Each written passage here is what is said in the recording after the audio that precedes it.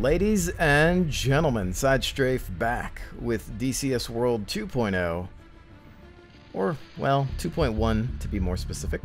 Once again on the Normandy map in my P-51D Mustang. Uh, today's going to be another non-combat mission. I'm continuing to familiarize myself with this aircraft. Um, just in general learning to fly uh, I want to make sure that I do it right. So uh, in this video, I'm going to be going from Bazenville to Maupertus and kind of just enjoying the sights, talking about my DCS and flight training experience so far and perhaps the future it holds uh, for me and maybe even the channel. But uh, yeah, let's get this bad boy into the air. My startup procedure so far I think is pretty good. Uh, I don't know that I currently have any issues starting this thing up. Uh, if you think that you see any problems, you're free to uh, talk about it in the comments below. I usually go left to right with my process here. And um, we'll go ahead and uncage that. Parking brake is usually recommended, but I haven't really had any issues with it because I throttled down immediately upon starting the aircraft. Okay, we're going to go ahead and prime. Hit that starter. Wait for that cough. And then throttle down. Now, I have seen in various guides people messing with the uh, radiator coolant air control oil settings here. Um, some people say you can just leave it on automatic, but um, some I think turn them off until perhaps after startup or maybe even in the air. I'm not I'm not certain about that. If you have any information about that, again, feel free in the comments below. I'm gonna close that there and throttle up a little bit. To begin our taxi. Some of this is engine warm-up time as well. Which I believe is quite important, considering this is a simulator.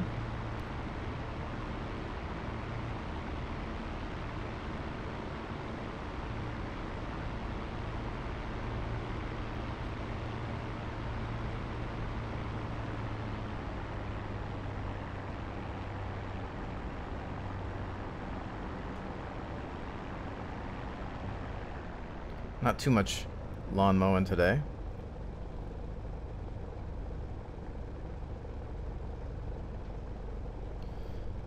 Okay.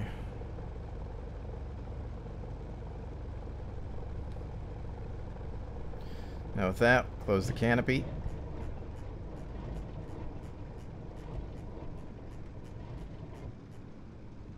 Once again, if you are curious about my flight gear, my controls, TrackIR. I'll have links to everything in the description below. Rear view because why not?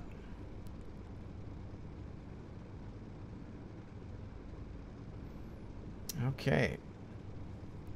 Engaging my toe brakes. I'm going to throttle up slowly here. Get to about 30 in manifold pressure. Pull back on the stick to lock the tail wheel and get set. A little bit of right rudder. Play with that rudder.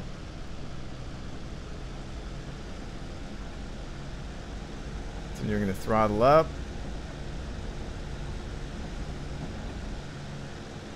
Easing the stick back to center. Landing gear up.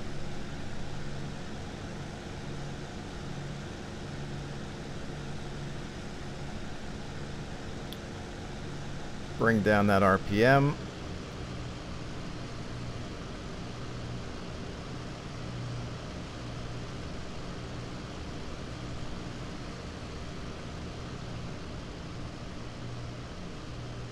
as well as the throttle, keeping it in the green. While we get our takeoff here. Now, obviously there's various limits for the engine, uh, many of which can be found here. I think I need to work on some of that stuff, uh, managing between manifold pressure and RPM.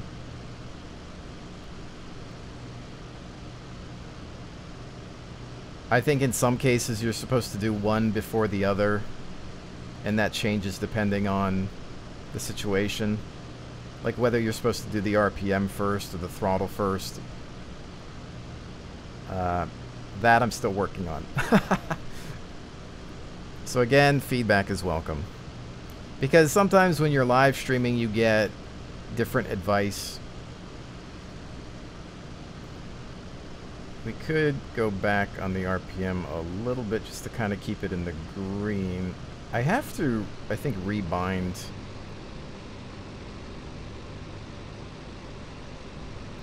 that. Um, and I may even be able to go a little further in terms of manifold pressure, but again, I'm not 100%. Cruise max 2,400 and manifold pressure 36. So, I mean, if I straighten out, I could push it a little bit.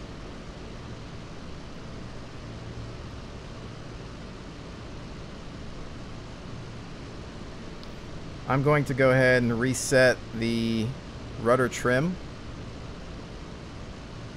back to default. I've got a button bound for that on my throttle. And then I've got some other binds for various trim settings to straighten out our flight without having to constantly fight with the stick But right now we've got some pretty stable flight. It seems. Man, this map is gorgeous. Can't get enough of it. We'll get some altitude here.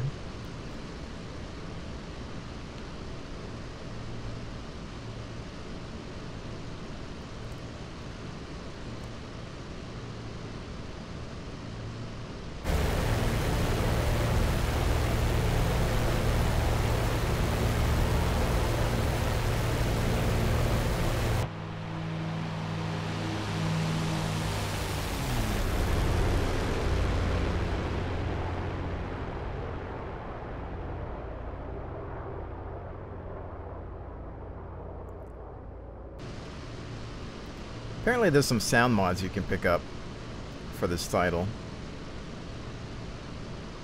to get the engine sounding a bit more potent uh, or perhaps realistic. Not that they're that bad or anything, but I've heard some other ones that seem to sound a little closer to what I've heard from the uh, the air show stuff. Um, I think the only real big sound criticism I have is when concerning the 50 caliber guns. They're not amazing.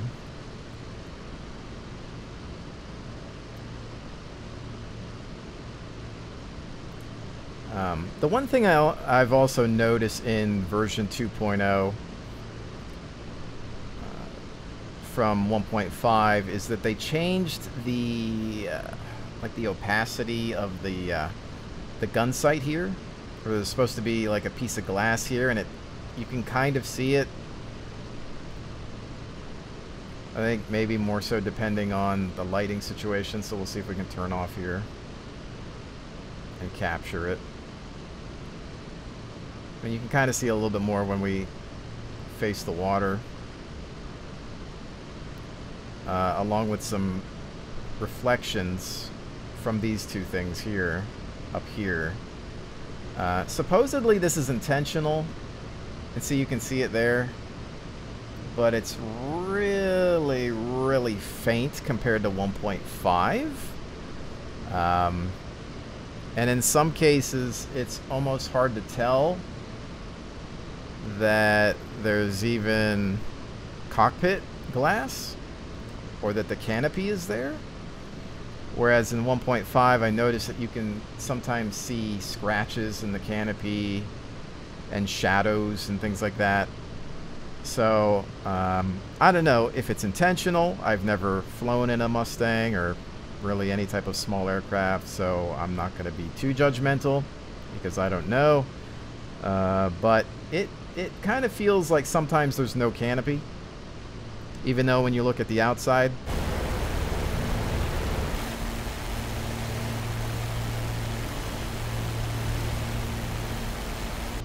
There's a lot of reflection and glare there.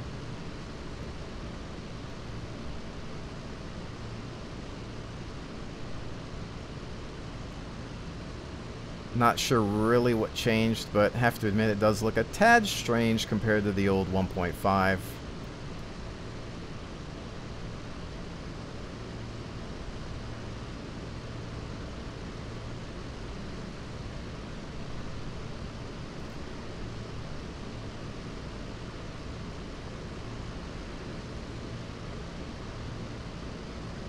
Flying is so relaxing.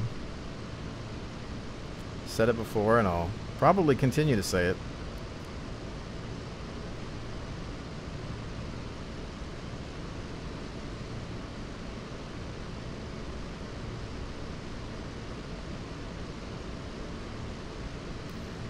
But yeah, I've been trying to take this seriously. Um, I think I decided a few weeks ago, you know what? Let me give a legitimate flight simulator a chance. Let me learn the right way. Let me figure out all the buttons and the dials and some of the gauges and let me nail that startup procedure and taxiing, takeoff, basic flight, trying to keep level, mess with the trim. And then, of course, landings, which I still kind of struggle with. I'm going to adjust the trim a little bit. Here. Which are these dials. Which I have bound. You can see to my throttle. Which I'm not touching the stick right now. That's because we're adjusting the trim. I tried to map everything to where it is in the actual plane. So if it's on the left, I've tried to bind things to my throttle. And then if it's on the right, I try to bind things to the flight stick if I have enough buttons.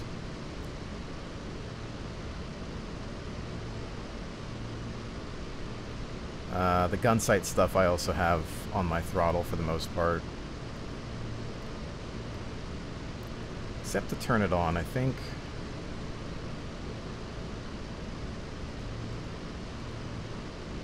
That's here.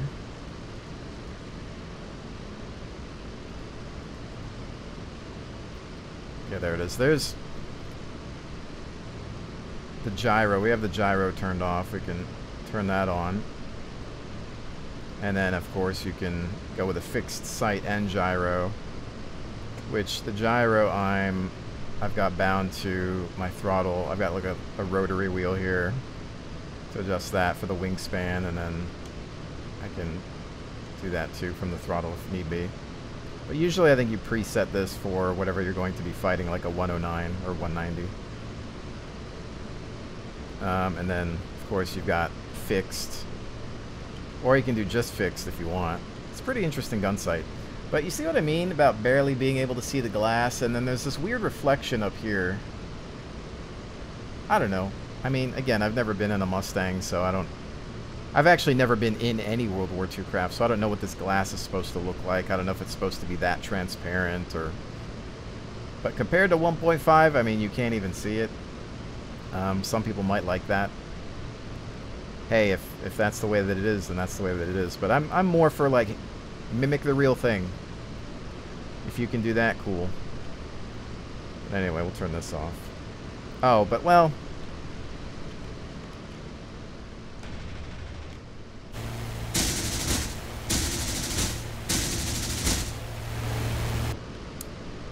for 50 cals, eh, the sound's a bit underwhelming. anyway, always something that they can work on. I'm sure there's mods too. I'd rather not have to install a mod. But...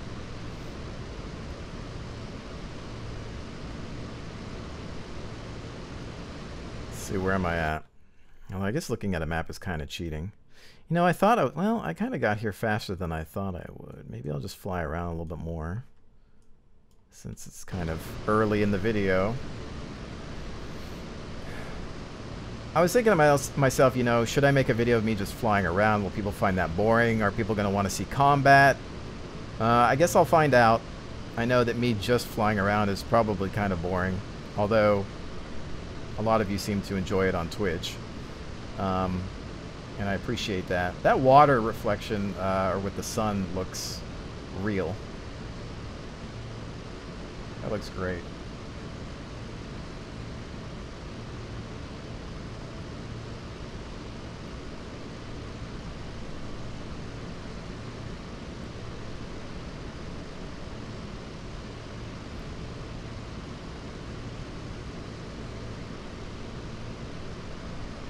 I can't get over that attention to detail.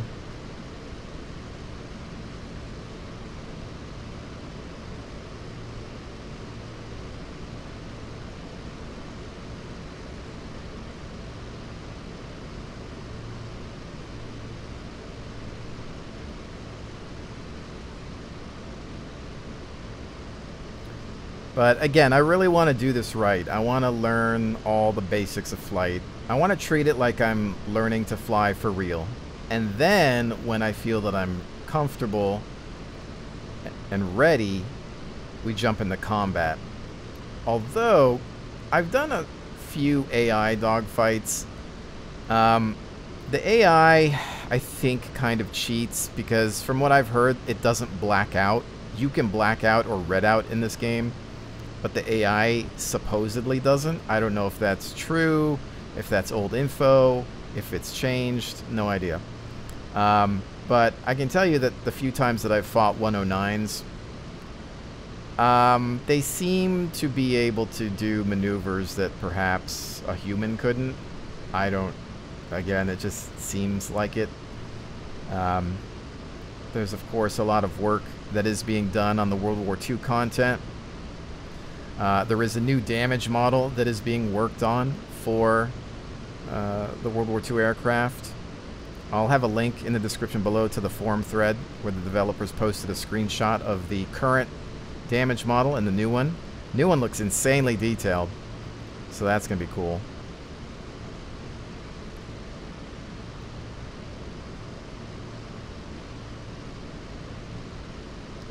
But right now,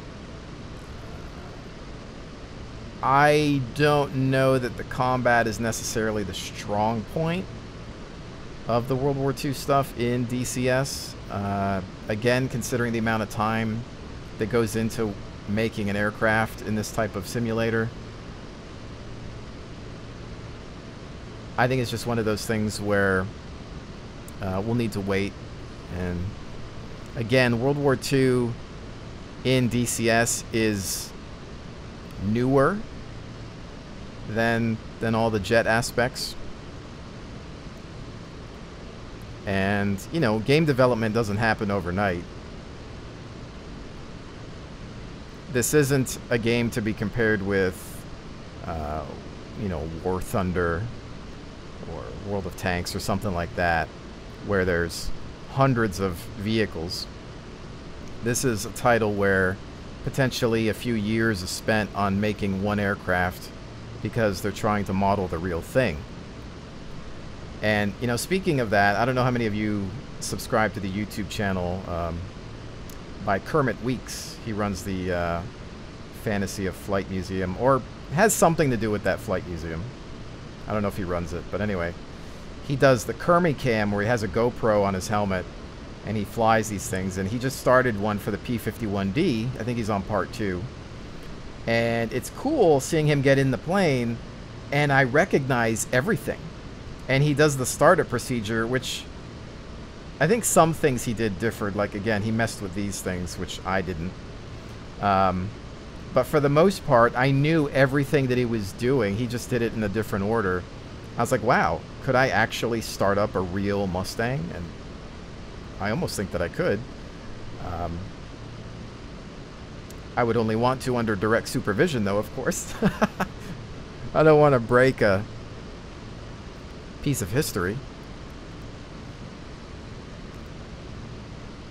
You know, you probably want to pay a little bit more attention to the uh, engine temps and whatnot. I think we're good, though, here. I mean, just everything you can see here. Carburetor temp, coolant. In the green,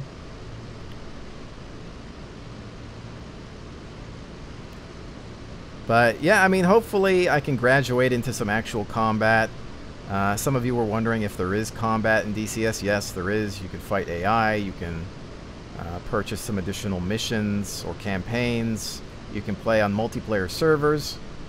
Um, depending on which version of the game you're in, there's 1.5 and 2.0. They're going to be separate.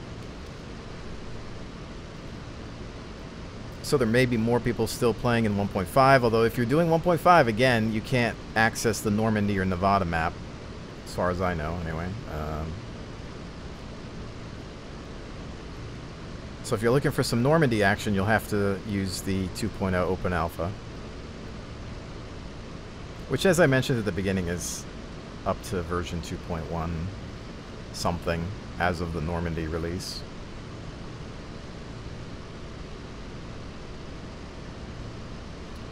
Go fly over here and take a look at things. Yeah, but you see this here? I don't know. To me, this looks weird. I think it's a reflection of these things going up here, so maybe it's normal, but it just kind of looks... I don't know, like a weird broken texture in some way. I don't Gotta watch it. I had my hand off the stick. We were speeding up here on that dive. Slow down a little bit.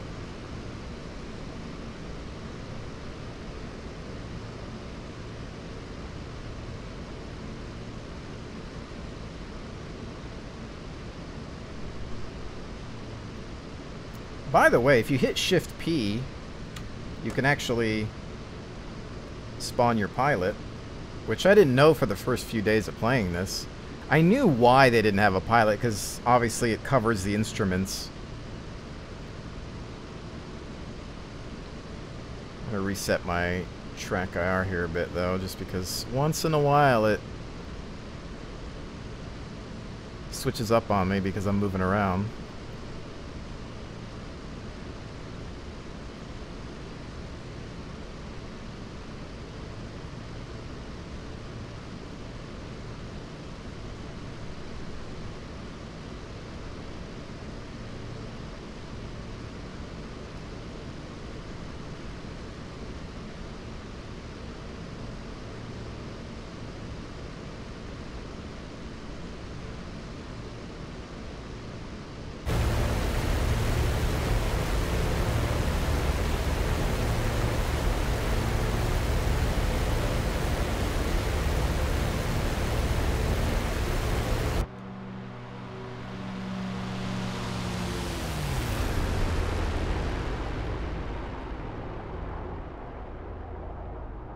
Absolutely gorgeous.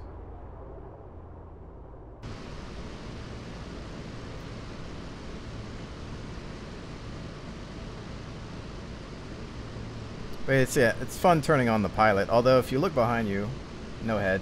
but that's actually funny enough. It's actually a good thing. I think sometimes a head model can interfere with TrackIR and VR functionality in some ways, much like what happened with Star Citizen. They broke the TrackIR support a long time ago, and I think they just re-added it in. But it's a bit clunky still.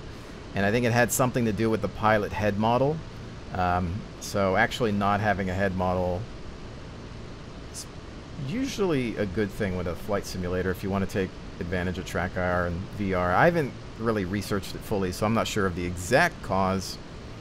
But uh, hey, you know, it's not a big deal. But it's cool that you have the option to turn your pilot on if you want that added immersion. But you can see how it does cover certain things up.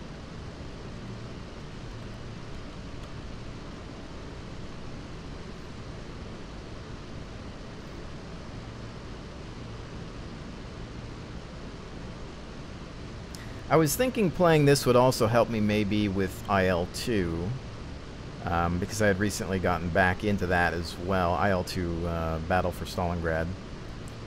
And I went back into that game. Of course, in that it's uh, Germany versus the Soviet Union, so the only plane I somewhat familiarized myself with was BF-109. And I have a 109K4 in this game, which is, I think, more of a beast than a lot of what's in uh, that title, IL-2. I don't know if they have the K4. But the flight mechanics are different. The flight modeling, the handling of the planes, even the taxiing, takeoff stuff seemed a little bit more forgiving in IL-2 than here. So I don't know that learning here necessarily transitions, but I guess when I went back to IL-2, I felt like, well, considering what I learned here, things in IL-2 felt easier. And that's just one man's opinion, but it was kind of nice. Um, I feel like with DCS, I've thrown myself into the deep end. Like, well, learn to swim and just right into the ocean instead of, you know, starting out in the shallows with floaties, you know? Hey, never flown a plane before in your entire life? Never played a, played a realistic hardcore flight simulator? Oh, why don't you just try to learn how to fly the P-51 Mustang? Yeah, that's a great plane to start on.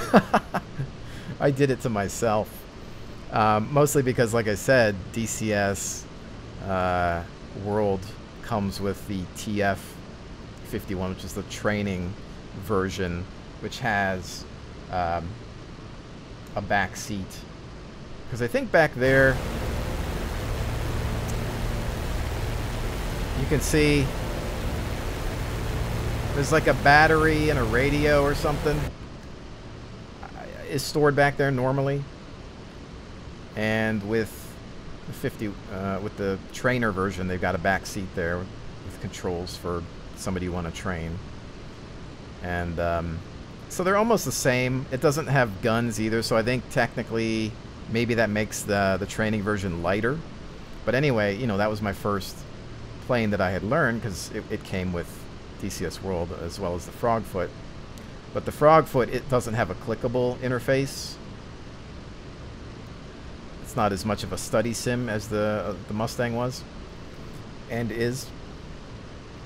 But yeah, I mean, people were saying, man, you should play, you know, Microsoft Flight Simulator or, or X-Plane and, and learn to fly a, a more basic aircraft. I was like, well, yeah, I could do that, but I mean, I'm already here and I'm sitting in the Mustang and this is pretty cool. And so, uh, yeah, I, I pretty much taught myself the hard way. But I've been enjoying it. There's no doubt about that. Where have I gone? Okay, well, I was going to land there. I could land anywhere, really. Um, I guess I could just pick any of these airfields if we want to go for it. There's one right there.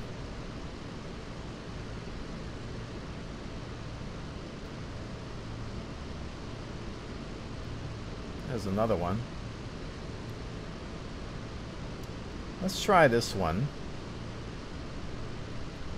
keyword try.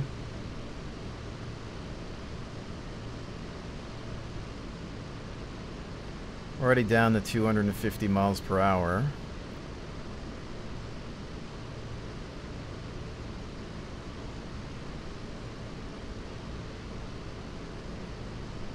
Yeah, there's a lot of airfields around here actually.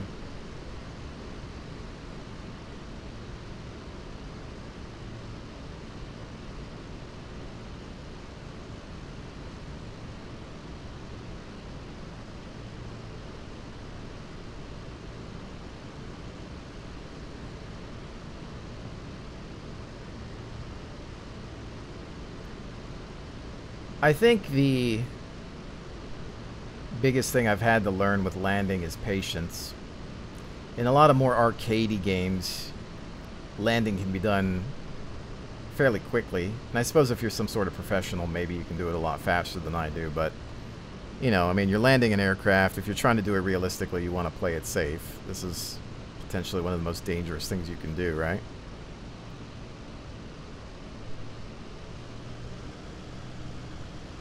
Slow down quite a bit here. I should want to pick up a little bit. So that I can try to get a decent approach.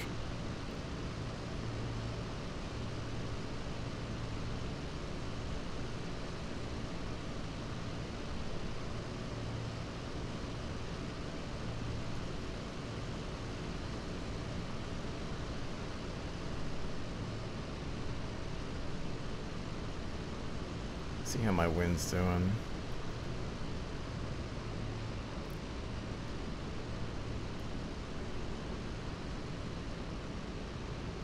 Bring down that throttle a bit.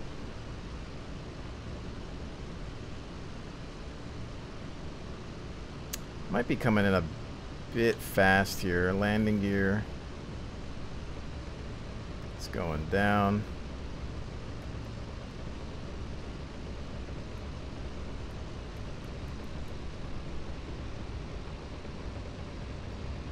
Give it some more flaps. That's just the engine.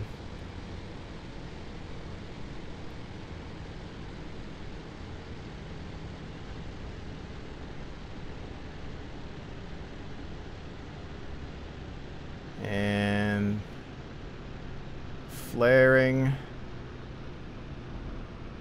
A little bouncy bounce. Back on that throttle. Toe brakes, toe brakes. Left and right. Try to keep her center.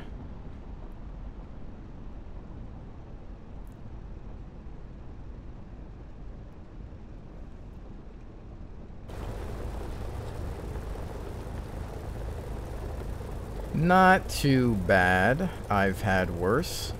Much, much worse. I haven't exploded. Always a good thing.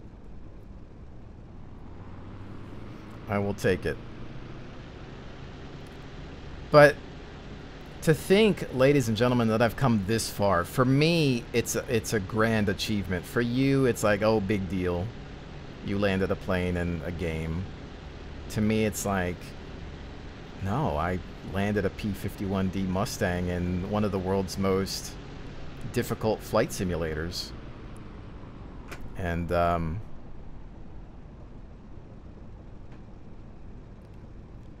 it's just probably going to go down as one of my greatest achievements in, in gaming history. I know that maybe sounds a bit extreme to you, but I can't help but feel like it's a great achievement.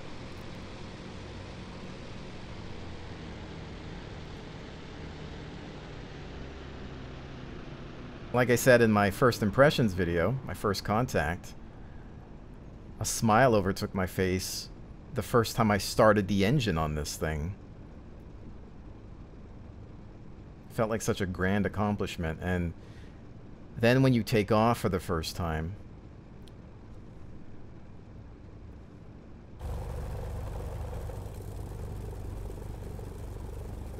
and then you have some level flight, then you try to figure out how to land, and well, you're flipping the plane, breaking the landing gear, exploding. Yeah, it's uh, that takes a few more days, but once you eventually nail those landings, even though that one wasn't necessarily perfect, there was a, a little bump there, I think. It wasn't too bad. We didn't break anything. But yeah, I'm I'm really enjoying this.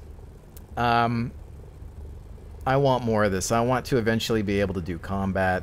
Uh, of course, I think we'll wait and see what happens with the new damage model. And, uh, you know, we do have to consider the fact that this, again, isn't like a traditional game. You know, this is a simulator that adds in new aircraft over the course of several years. And so right now, there's the P-51D. There's the Spitfire. There's the 109 K4. There's the 190 D13, I think. I forget which one it is. Um, P47 is in the works. I don't know if there's anything else. There might be.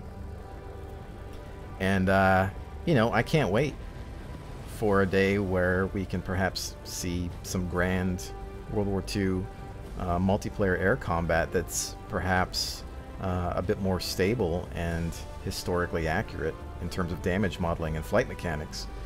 Because I'll tell you what, flying in this game is so freaking satisfying.